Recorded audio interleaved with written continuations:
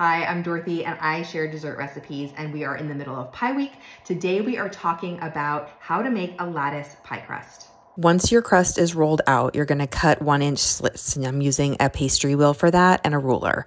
Then place every other one on your pie, leaving space in between. Fold back every other one and put a um, one the opposite way. So perpendicular, fold it back and then do the opposite. And it's like basket weaving. So you're basically doing that on the whole pie.